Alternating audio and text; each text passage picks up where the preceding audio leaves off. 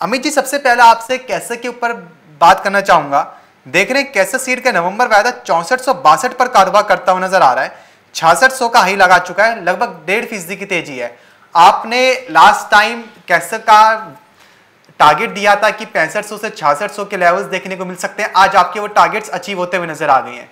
अब आपको इससे आगे क्या लगता है? कैसे में कैसे रुझान रहेगा? जी आ, बिल्कुल जो इनिशियल टारगेट्स थे जो हमने पिछले हफ़्ते डिस्कस किए थे वो हासिल हो चुके हैं।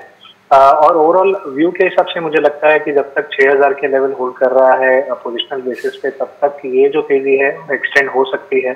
Upside hmm. में नेक्स्ट जो बड़ा लेवल होगा वो 6900 का होगा और उसके बाद पॉसिबल है कि हम 7100 तक के स्तर भी आ, देख पाएँगे। आज भी अगर हम देखें तो वॉल्यूम के साथ बाइंग आई है तो ओवरऑल जो ट्रेंड है वो मुझे लगता है तेज़ी का ही है और रुख ऊपर की तरफ़ ही दिखता है।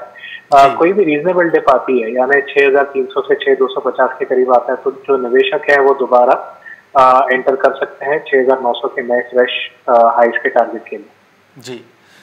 तो यानी कि यहाँ से ग्वार सीड यहाँ से कैसे सीड का जो वायदा बाज़ार है तेज़ी की ओर है। अगर सड़सठ सौ अड़सठ सौ की क्लोजिंग आती है तो छः हज़ार नौ सौ के भी पार जाता हुआ नज़र आ सकता है।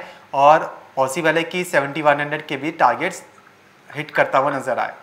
तो निचले स्तर पर खरीदारी की सलाह रहेगी बासठ सौ, तिरसठ सौ के जब लेवल्स आए नीचे पे तो वहाँ से जो निवेशक हैं, फिर से निवेश कर सकते हैं, कैसे सीड में तेज़ी की रुझान की ओर।